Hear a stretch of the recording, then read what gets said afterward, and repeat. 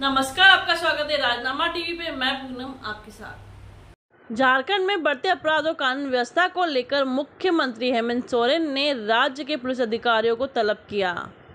मुख्यमंत्री ने वर्तमान समय में राज्य के भीतर हो रही छोटी बड़ी आपराधिक घटनाओं को लेकर कड़ी नाराज़गी ज़ाहिर की। मुख्यमंत्री ने साफ़ तौर पर कहा कि 15 दिन के अंदर राज्य में विधि व्यवस्था सुधारें। पुलिस अधिकारियों से कहा कि पुलिस अपनी कार्यशैली में सुधार करते हुए आपराधिक घटनाओं पर लगाम लगाए। अगर स्थिति में सुधार नहीं हुआ तो संबंधित पुलिस अधिकारी बख्शा नहीं जाएगा। पिछले कुछ दिनों में अपराधियों ने विधि व्यवस्था संधारण को चकमा देते हुए कई जघन्य अपराधों को अंजाम दिया है। किसी भी हाल में ऐसे अपराध स्वीकार नहीं है। वर्तमान समय में हो रही आपराधिक घटनाएँ राज्य के लिए चिंता का विषय है। आपराधिक घटनाओं की पुनरावृत्ति न हो, इस निर्मित पुलिस बिना किसी दबाव के अपराधियों पर कड़ी कार्रवाई करना सुनिश्चित करे।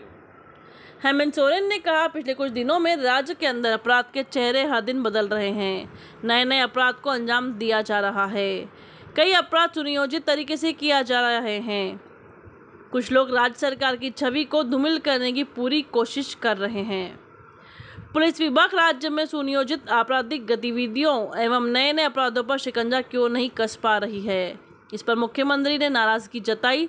साथ ही मुख्यमंत्री ने पुलिस अधिकारियों को सूचना तंत्र को मज़बूत करने का कड़ा निर्देश दिया। अपराध नियंत्रण में किसी भी प्रकार की कोताही नहीं बरती जानी चाहिए। कोताही किसी भी हाल में बर्दाश्त नहीं की जाएगी। इसी के साथ बने रहे राजनामा टीवी के साथ, धन्यवाद।